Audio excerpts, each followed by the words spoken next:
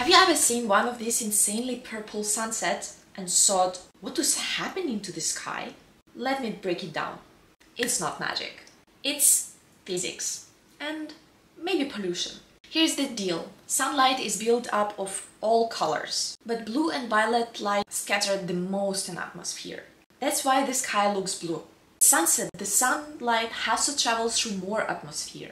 The blue light gets scattered away, leaving reds and oranges. But sometimes extra particles like dust, smoke or volcanic ash scatter even more blue and violet into your eyes. That's why the sky can go full on Instagram filter. That extra scattering creates these more purples and magentas. Researchers have even documented how wildfire smoke and volcanic eruptions cause more frequent purple and pink lights.